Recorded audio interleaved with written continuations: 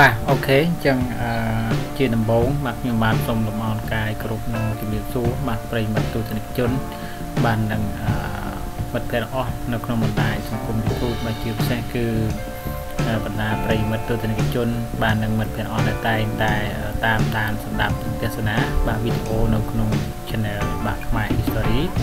បាទអញ្ចឹង Channel ខ្មែរ History តែងតែលើកយកនៅព័ត៌មានទាក់ទងនឹងប្រវត្តិសាស្ត្របាទប្រវត្តិបុគ្គលល្បីៗ បាទរួមទាំងព័ត៌មានជាច្រើនទៀតបាទផងដែរហើយក្នុងនោះក៏មានលើកយកតាក់ទងទៅនឹងអេឡិចត្រូនិកបាទនិង smartphone មកចែកម្លែកដល់អ្នកគ្នាផងដែរប៉ុន្តែដែល live ថ្ងៃនេះគឺខ្ញុំធ្វើការផ្លាស់ប្ដូរបាទអារម្មណ៍ឬក៏ហៅថាផ្លាស់ប្ដូរព័ត៌មាន បាទដោយឲ្យជំនួសមកវិញនៅ បាទព្រឹត្តិការណ៍អន្តរជាតិប្រចាំថ្ងៃយើងឃើញថាអឺ តកតទៅនឹងព្រឹត្តិការណ៍អន្តរជាតិនេះគឺជាព្រឹត្តិការណ៍មួយដែលទាញបាទដែលទាញមនុស្សទូទាំងពិភពលោកហ្នឹងបាទឲ្យចាប់អារម្មណ៍ខ្លាំងមែនទែនហើយក្នុងនោះឃើញថាអឺប្រជាជនដែលរស់នៅក្នុងប្រទេសជាតិកម្ពុជា បាទសូម្បីតែខ្ញុំនឹងក៏ដោយក៏មានការចាប់អារម្មណ៍តកតទៅនឹងព័ត៌មានដែរបាទព័ត៌មានដែលគេចាប់អារម្មណ៍ជាងគេហ្នឹងគឺថាតកតទៅនឹងប្រមុខមេដឹកនាំបាទ ប្រទេសកូរ៉េខាងជើងគឺលោកគីមចុងអ៊ុនហ្នឹងដែលត្រូវបានអឺមតិបាទអាចារ្យរាមបាទថាគាត់ហ្នឹងគឺមានបញ្ហាជំងឺបេះដូងបាទហើយគាត់ត្រូវបានចូលវះកាត់បាទហើយក៏គាត់ហ្នឹងបានអ្នកខ្លះទៀតក៏គាត់ថាគាត់ហ្នឹងគឺបានបាត់បង់ជីវិតហើយអ្នកខ្លះទៀតគឺថាមិនទាន់បានបាត់បង់ជីវិតឡើយទេ ឥឡូវយើងឃើញថាមនុស្សកំពុងតែធ្វើការតាមដានបាទយ៉ាងខ្លាំងហើយក៏នៅតែមានចម្ងល់នៅឡើយទេហើយព័ត៌មាននេះគឺមិនទាន់ច្បាស់ផ្លូវការឡើយទេនៅតែមិនទាន់ច្បាស់ទេហើយយើងឃើញថាខាងសហរដ្ឋអាមេរិករួមសហការជាមួយនឹងប្រទេសកូរ៉េខាងត្បូងក៏បានបង្ហោះបាទអឺយន្តហោះឆ្លូកដើម្បីធ្វើការស៊ើប រកនៅប្រមុខមេដឹកនាំឬក៏ហៅស៊ើបរកដំណឹងឲ្យប្រកាសថាតើមេដឹកនាំរបស់កូរ៉េខាងជើងគឺលោកគីមចុងអ៊ុនហ្នឹងតើស្លាប់មែនដែរឬអត់ឬក៏កំពុងលាក់ខ្លួននៅឯណាឲ្យប្រកាសបាទហើយជុំវិញបញ្ហាបាទជំងឺរបស់គាត់ហ្នឹងក្រោយពីវះកាត់ហើយហ្នឹងគឺវាទៅជាយ៉ាងណាទៅហើយបាទអញ្ចឹងវាកំពុងតែរកនៅព័ត៌មានឲ្យពិតដូចគ្នាបាទយើងឃើញហើយថាការ live បាទអឺដូច ជាព្រឹកមិញហ្នឹងយើងឃើញថាមានការ live នៅព័ត៌មានខ្លះខ្លះដែលអ្នកខ្លះថាគាត់បានបាត់បង់ជីវិតហើយបាទឥឡូវនេះគឺមិនទាន់ច្បាស់ការឡើយទេបាទអញ្ចឹងដើម្បីភ្ជាប់បាទភ្ជាប់នៅរឿងរ៉ាវនេះគឺអឺមុនពេលដែលគាត់បានបាទអឺចូលទៅពេទ្យដើម្បីធ្វើការវះកាត់ហ្នឹងបាទ គឺគាត់បានបាទទេតំណែងឬក៏ហៅថារៀបចំអ្នកស្នងតំណែងបាទរបស់គាត់បាទដែលជាប្អូនស្រីបាទដែលជាប្អូនស្រីហើយបង្កើតរបស់គាត់តែម្ដងដែលមានឈ្មោះថាបាទគឹមយ៉ូជុងបាទគឹមយ៉ូជុងហើយគឹមយ៉ូជុងនេះគឺជាអ្នកចំណិតរបស់គឹមចុងអ៊ុនដែលគាត់បានសិក្សាជាមួយគ្នាហើយត្រែថែមទាំងធ្វើការបង្ហាត់បង្រៀនបាទណែនាំអីផ្សេងផ្សេងបាទបាទ អូខេឥឡូវនេះគឺខ្ញុំសូមជម្រាបជូននៅជីវប្រវត្តិខ្លះខ្លះនៃអនាគតបាទអ្នកស្នងតំណែងមហាអំណាចដូចគ្នាគឺកូរ៉េខាងជើងគឺអ្នកស្រីគឹមយោជុងបាទដែលជាអ្នកស្នងតំណែងនេះបាទចឹងគឹមយោជុងកើតនៅថ្ងៃទី26ខែកញ្ញាឆ្នាំ1987គឺជាអ្នកនយោបាយកូរ៉េខាងជើងលោកស្រីគឺជាអ្នកជាសមាជិកជំនួសនៃការិយាល័យនយោបាយបាទ ជាអនុប្រធាននាយកដ្ឋានឃោសនានិងកុបកម្មនៃគណៈបកពលករកូរ៉េដែលហៅកាត់ជាភាសាអង់គ្លេសហៅថា WPK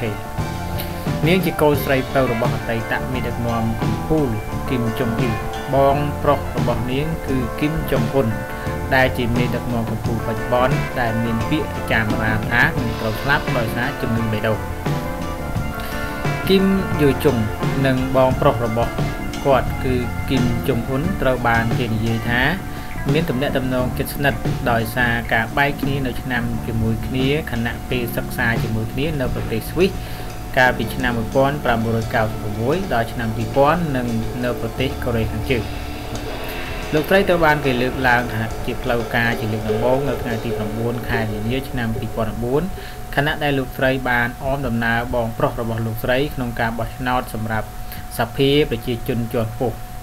លោកស្រីគឹមយោជុងត្រូវបានគេស្គាល់ថាជាមន្ត្រីជាន់ខ្ពស់នៃគណៈកម្មាធិការកណ្ដាល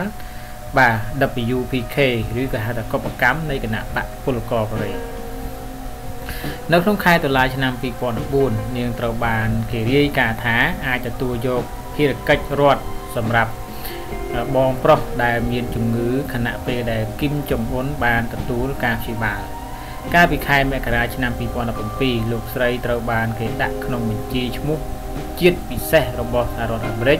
ក្នុងការឆ្លើយតបទៅនឹងការរំលោភសិទ្ធិមនុស្សនៅកូរ៉េខាងជើងនៅឆ្នាំ2017គឹមយោជុងត្រូវបានក្លាយជាសមាជិកជំនួសនៃអ្នកនយោបាយគឺមានតែស្ត្រីទី2ប៉ុណ្ណោះដែលត្រូវបានតែងតាំងជាសមាជិកដោយដែលត្រូវបានគេប៉ាន់ស្មានពីមុនការឡើងរបស់នាង ទៅកាន់ស្ថាប័នគ្រប់គ្រងកម្ពុជារបស់ប្រទេសអាចបង្ហាញថានាងគឺជាអ្នកជំនួសគឹមចំអនបាននៅថ្ងៃទី9ខែកុម្ភៈឆ្នាំ2018គឹមយោជុងបានចូលរួមធ្វើពិធីបើកព្រឹត្តិការណ៍អូឡ িম্প ិករដូវរងាឆ្នាំ2018នៅទីក្រុងបាទភើយ៉ាងឆាងប្រទេសកូរ៉េខាងត្បូងនេះជាលើកទី1ហើយដែលសមាជិកនៃរាជវង្សគឹមបាទគឹមដែលកំពុងកាន់អំណាច បានធ្វើទស្សនកិច្ចនៅប្រទេសកូរ៉េត្បូងចាប់តាំងពីសង្គ្រាមកូរ៉េនៅខែមេសាឆ្នាំដដែលលោកស្រីត្រូវបានគេដកចេញពីការិយាល័យនយោបាយរបស់គណៈបកមួយរយៈខ្លីមុនពេលត្រូវបានចូលធ្វើការវិញនាខែមេសាឆ្នាំ2020 នៅខែមេសាឆ្នាំ2020ពាក្យអាចារ្យអារាមអំពីសុខភាពមិនល្អរបស់លោកគឹមចុងអ៊ុនបានជំរុញឲ្យលោកគឹមចុងអ៊ុនផ្ដោតការយកចិត្តទុកដាក់ជាអ្នកស្នងតំណែងមេដឹកនាំរដ្ឋាភិបាលនៅកូរ៉េខាងជើងបាទអញ្ចឹងនេះគឺជារឿងរ៉ាវប្រវត្តិខ្លះខ្លះដែលតកតងទៅនឹងលោកស្រីគឹមយោជុងបាទអញ្ចឹងដោយសារតែលោកស្រីគឹមយោជុងនេះបានទៅបើក បាទពិព័រណ៍កីឡាគេហៅថាកីឡាជាតិអូឡ িম্প ិកនៅកូរ៉េខាងត្បូងហើយដូច្នេះបានជាលោកគឹមចុងអ៊ុនត្រូវជាបងប្រុសហ្នឹងគឺបានតកបានតកសេចក្តីទុកចិត្តទៅវិញដោយថាពេលដែលគាត់ឡើងកាន់កាប់ជាតំណែងចឹងទៅអាចនឹងទៅរួបរួមជាមួយនឹងកូរ៉េខាងត្បូងជាដើមបាទដោយកាន់លទ្ធិប្រជាធិបតេយ្យជាដើមបាទនេះគឺជាអឺការមិនទុកចិត្តមួយរបស់បងប្រុសក៏ប៉ុន្តែយើងសង្កេតឃើញថាមកពេលនេះ គឺនៅតែមានសង្ឃឹមគឺដែលបងប្រុសគឺថាដល់នៅសិទ្ធិអំណាចខ្លះខ្លះបាទហើយមិនត្រឹមតែប៉ុណ្្នឹងទេគឺអាចត្រៀមជាអ្នកឆ្លងតំណែងទៀតអញ្ចឹងបើសិនជារឿងរ៉ាវនេះវាទៅជាអញ្ចឹងថាតើអឺប្រវត្តិសាស្ត្ររបស់កូរ៉េខាងជើងវាទៅជាយ៉ាងណាទៅវិញបាទវាវាតឹងរឹងបាទដោយដែល គីមចុងអ៊ុនកាន់ឬក៏យ៉ាងម៉េចបាទឬក៏វាអាចធូរជាងឬក៏អាចថាការបង្រួបបង្រៀមបង្រួបបង្រួមរវាងកូរ៉េទាំងពីរគឺកូរ៉េខាងត្បូងនិងកូរ៉េខាងជើងបាទទៅយ៉ាងណាដូច្នេះអ្វីដែលមហាជនគឺគាត់ចង់ដឹងគឺគាត់តាមដានព័ត៌មានគឺគាត់ចង់គឺគាត់ចង់ដឹងរឿងហ្នឹងហើយបាទសូម្បីតែខ្ញុំហ្នឹងក៏មានការតាមដានខ្លះដែរបាទរឿងនេះគឺជារឿងចៅរំ ហើយតកតងទៅនឹងការស្លាប់របស់គឹមចុងអ៊ុននោះគឺមិនទាន់ដឹងពិតប្រាកដដល់ឡើយទេបាទមិនទាន់ដឹងទេទោះបីជាមានព័ត៌មានអះអាងពីខាងអឺខាងចិនខាងអីក៏ដោយក៏មិនទាន់មានព័ត៌មានច្បាស់ការណាមួយដែរហើយសហរដ្ឋអាមេរិកក៏កំពុងតែធ្វើការស៊ើបអង្កេតទៅផងដែរតកតទៅនឹងដំណឹងនេះបាទអូខេដូច្នេះយើងមានតែរងចាំតាមដានរឿងរ៉ាវនៅព្រឹត្តិការណ៍អន្តរជាតិ ជុំវិញតកតងទៅនឹងមេដឹកនាំកូរ៉េខាងត្បូងបាទអេសំទើកូរ៉េខាងជើងគឺលោកគឹមចំអ៊ុននេះបន្តទៀតបាទអូខេអញ្ចឹងអឺដូចជាព័ត៌មាននេះវាចប់ទៅហ្នឹងហើយតកតងទៅនឹងរឿងរ៉ាវនៃប្រព័ន្ធខ្លះខ្លះបាទในអនាគតអ្នកស្នងតំណែងគឺបាទមហាអំណាចបាទនុយក្លេអ៊ែរទៀតបាទអញ្ចឹងមិនធម្មតាទេកូរ៉េខាងជើងនេះគឺខ្លាយជាមហាអំណាចនុយក្លេអ៊ែរហើយ ហើយអ្វីដែលអាមេរិកព្រួយបារម្ភហ្នឹងគឺថាតកតទៅនឹងនុយក្លេអ៊ែរនេះបាទនុយក្លេអ៊ែរនេះពីព្រោះឃើញថាប្រទេសកូរ៉េខាងជើងនេះគឺមានភាពក្អេងក្អាងណាបាទដោយសារតែធ្វើការបាញ់សាកល្បងនៅអាវុធរបស់ខ្លួនបាទម្ដងហើយម្ដងទៀតម្ដងហើយម្ដងទៀតគឺមិនចេះរៀងចាលទេគឺគឺនតែម្ដងដូច្នេះអាមេរិកកំពុងតែធ្វើការតាមដានដែរបាទតើដូច្នេះតើអនាគតប្រទេសនេះនឹងទៅជាយ៉ាងណា បាទហើយបើសិនជាមានការប្រែប្រួលនេះយើងរងចាំមើលគ្នាដូច្នេះកូរ៉េខាងជើងនេះគឺមានការសហការជាមួយបណ្ដាប្រទេសកុម្មុយនីសផ្សេងៗដូចជារុស្ស៊ីបាទចិនបាទនឹងដូចជាអ៊ីរ៉ង់បាទគឺទៅអ៊ីរ៉ាក់បាទអ៊ីរ៉ង់នេះអ៊ីរ៉ាក់បាទអូខេអញ្ចឹងខ្ញុំចប់តំណឹងហើយជាស្រ័យផងដែរប្រិមិត្តបើសិនជាខ្ញុំបានធ្វើការបាទថា អធិប្បាយទៅខុសឆ្គងកន្លែងណាមួយសូមមេត្តាជាស្រ័យហើយធ្វើការកែតម្រូវផងដែរបាទអរគុណហើយយើងនឹងតាមដានបន្តទៅទៀតមើលតទៅទៅនឹងព័ត៌មាននេះតើវាប្រែប្រួលយ៉ាងម៉េចទៅទៀតបាទអូខេអញ្ចឹងមុននឹងបញ្ចប់គឺអរគុណដល់អ្នកនេះដែលចំណាយពេលវេលាបាទប្រហែលជា10នាទីទៅ11នាទីតាមដានទេសនាស្ដាប់វីដេអូនេះបាទហើយជូនពរអ្នកនរមានសុខភាពល្អរកទទួលទីបាន បាននឹងអឺ សំណាងល្អផងដែរជួបគ្នាក្នុងវីដេអូក្រោយៗទៀត